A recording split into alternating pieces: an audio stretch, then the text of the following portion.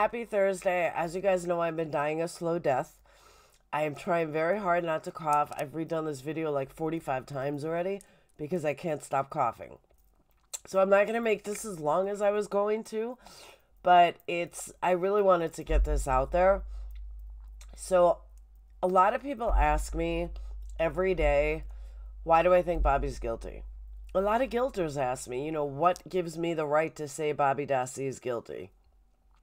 Because when I look at the totality of all the information and all the lies that Bobby has told, and how Kratz knew that Bobby was guilty, and how Dedering, in my opinion, knew he was guilty, and then all the lies to the media, and real, really at the top of it is Kratz's lies, is why I believe Bobby's guilty. So let me explain.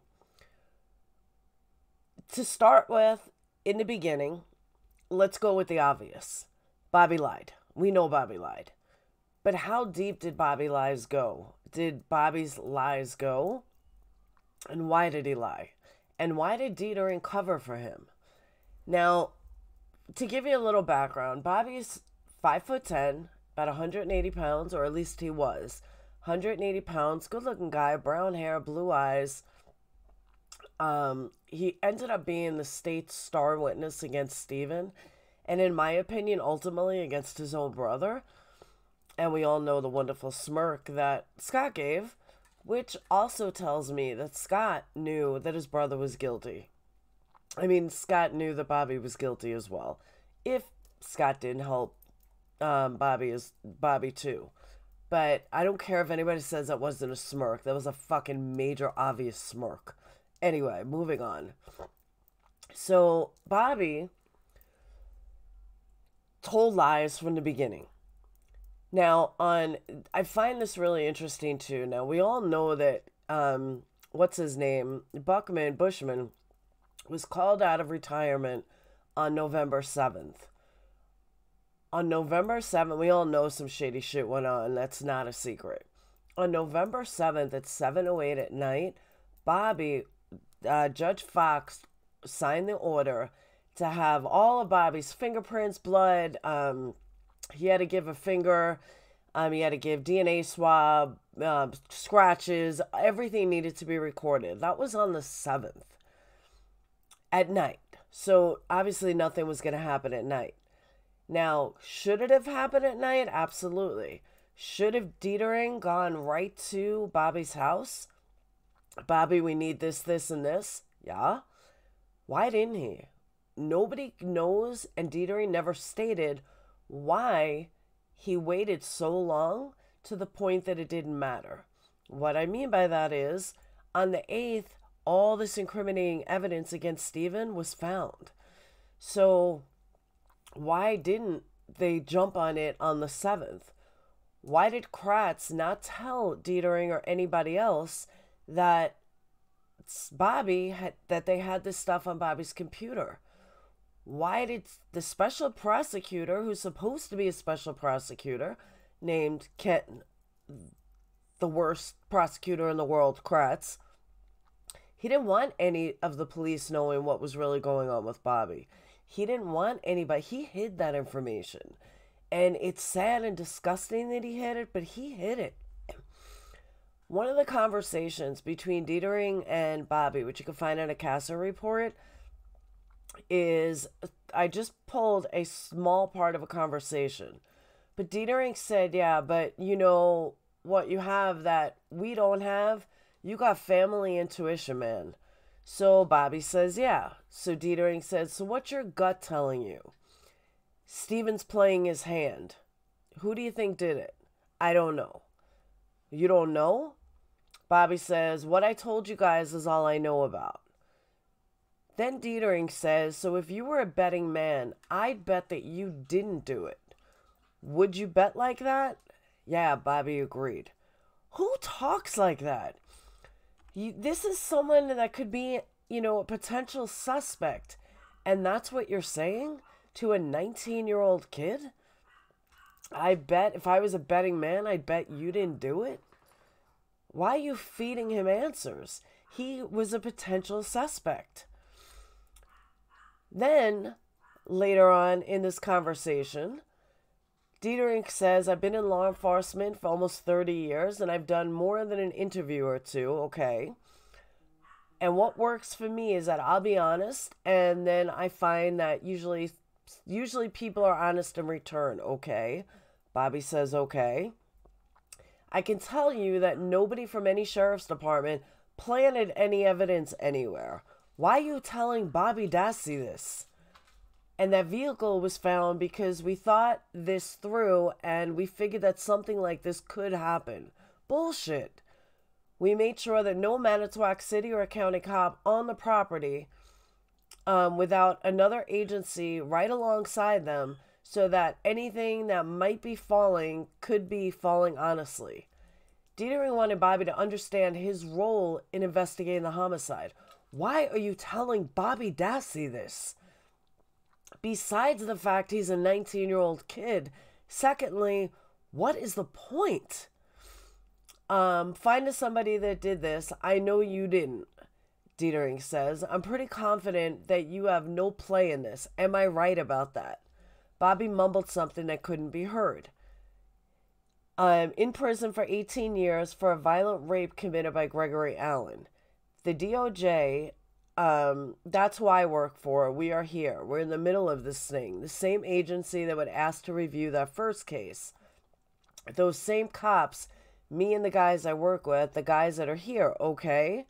Another thing I want to chew on people suggested that maybe me and the people I'm working with or any other cop like to make stuff up and twist stuff. I got it better. They rely on me. I got two kids. They rely on me. You know what? There is no case more important to me. And I'm not going to jeopardize my family and my life for anybody or anything, okay? Bobby said that. Dedering said, That's where I am as well. Think about what was just said. Bobby, Dedering is feeding him. And Bobby, there's no case more important to me. I'm not going to jeopardize my family or my life for anybody and any investigation. That speaks volumes. Like, what don't you get? Bobby is fucking guilty and they knew it. They fucking knew it and did nothing. Um Dedering then said, It brings shame, humiliation, poverty. We wouldn't want anything like that, Dedering offered. I'm not taking a chance. I'm 50 something years old. How old are you? 19. You can walk down the street, and if there's a job to be young, healthy, you could work here. You know what? I'm starting to be a liability, health insurance reasons. I can't do these things because there's too much writing on writing on for me. No cop and their mother says this to a 19 year old suspect or even the 19 year old victim. 19 year old um, not victim, but you know, a family member.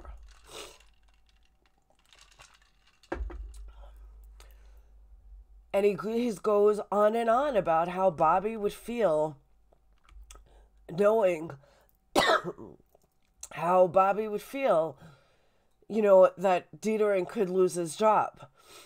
It, you know, all I hear is a clusterfuck of people admitting where they did wrong in their own way.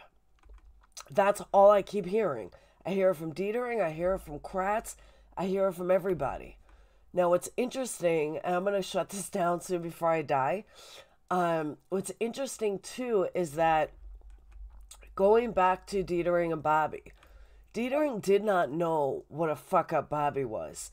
Dedering supposedly, you know, Kratz steered Dedering away from knowing that he was a sexual deviant. He was in all this, you know, stuff. But the one key piece of this that I don't think was made public enough was a conversation in CASO between Dedering and Bobby. Dedering was asking Bobby about Scott Tadych. we know that Bobby, fuck, we know that Bobby has been hunting for a long time. We know this from Mike, that he was hunting with Mike for a long time. Dedering asked Bobby about Tadych. Fuck, I'm not doing this video again. He asked Bobby about Tadych and says, you know, Bobby was asked if he and Tadych, the soon to be husband of Bobby's mother, hunted together. Bobby said this was the first day that I actually hunted with him. What? It is the first day that Scott that Bobby hunted. According to Scott, they've hunted many of times. According to testimony and Bobby, they've hunted many of times. It's just all lies. Everything is a big clusterfuck of lies. I'm gonna have to do a part two of this video because, like I said, I'm not redoing it. I've literally redone it like 50 times. But since I have no voice left, I will try to do part two later. But at least you guys got something from me. I'm sorry through the coughing. I'm sorry I got sick. Um, but I really, I've been thinking about this for the last couple of days while I'm on my deathbed. So make sure you subscribe. Make sure you check out my other videos. Come back later and I will have part two of this when I'm not choking to death. Um, I thought keeping my mouth moist would help, but it's not. So my apologies. So that's why, for the beginning part of why I know that Bobby Dassey is guilty. Too many lies. All right. Don't forget, check out my other videos. Check out, uh, make sure you subscribe, and I'll see you guys tomorrow night. All right. Or I might see you tonight, depending if I don't die or not. All right. Have a good night.